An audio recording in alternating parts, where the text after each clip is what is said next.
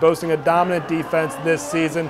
Pendleton, a bunch of motivation, however, to get win number one first quarter. Hunter Puckett takes the handoff inside the two, and then the very next play, he'll finish off the drive with a touchdown. 7-0 Rams on top. Same score later in the first.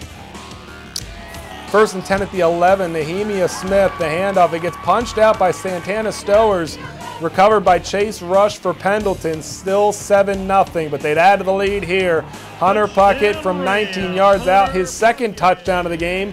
Rams on top 21-0, and they roll from there. Rams in the win column, uh, 63 to 7 over Pendleton.